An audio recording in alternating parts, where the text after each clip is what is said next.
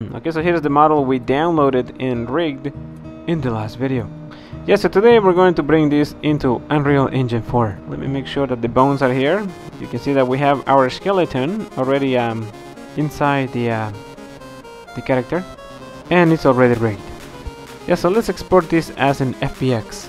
I didn't change anything here, so I'm not exporting any animations and don't worry about this. Okay, so let's just um, call this uh, Le Frisk. Okay, so we're done here. Let's close this and let's open Unreal Engine 4. Okay, so here is Unreal Engine 4 and uh, I'm using the uh, third person character uh, template. So go ahead, open Unreal Engine 4 and load the uh, third person character. And wow, what is that? What does that say on the floor? It says uh, subscribe. Okay guys, if you like making your own games, make sure you hit the subscribe button down below. Let's aim for 60 likes for this video. Okay, so hit the like button and let's continue. Okay, so let's get started. Uh, let's create a new folder. Let's just call this uh, Undertale. Just because we can.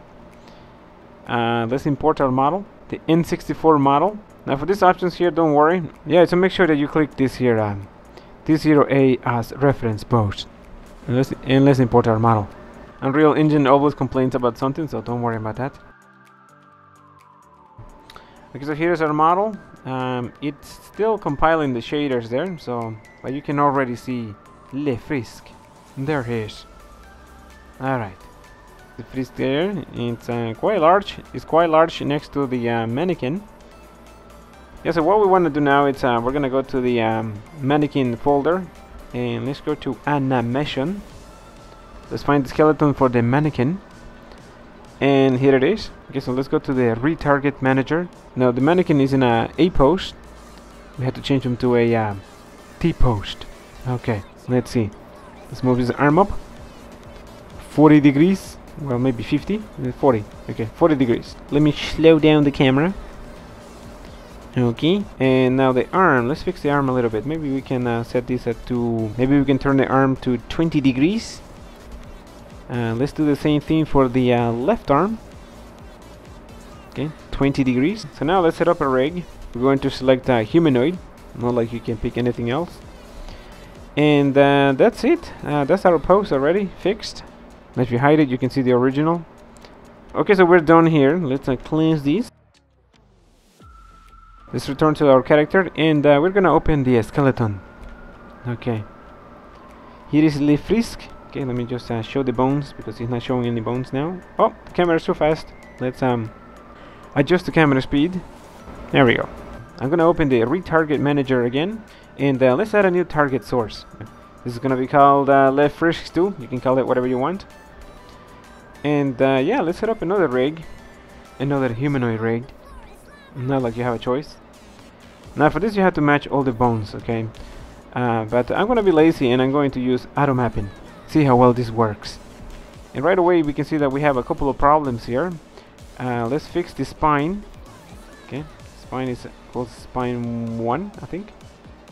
Oh wait, uh, spine supposed to be just... Uh, this is a bit confusing. Okay, so let me see. Spine, it's supposed to be just spine. Okay, and uh, spine 2 is supposed to be spine 1 and spine 3, it's a spine 2. Okay. spine 2 is supposed to be a spine 1. Okay, we're good there. Left uh, clavicle is going to be our left shoulder. Okay, let's see, what else? Uh, the upper arm is going to be, I think it's just left arm. Let me just uh, double check. Left arm, left, left arm. Okay, left arm. And let's see, lower arm is supposed to be the forearm, and now the left hand. Let's find the left hand. There is, left hand. Okay, uh, right clavicle.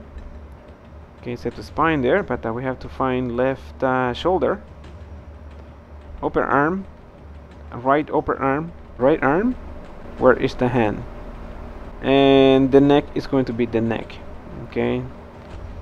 Um, the head is going to be the head the thigh is going to be uh, left thigh uh, this is supposed to be the um, uh, left up leg. Okay left up leg. Uh, the calf. Okay uh, that's supposed to be the leg. And the foot. Just select the foot here. Let's find left foot. Hmm. now right thigh right thigh is, um, this is going to be our um, upright leg and calf right calf is going to be our um, right leg and the right foot is going to be uh, the right foot. Okay I think we're done. Click on the show advanced button and let's clear all this we're not going to need none of this. Uh, this is for the detail for the fingers and uh, the toes. See clear all of this. Make sure that um, you clear them unless that you actually need them. But we are not going to need them right now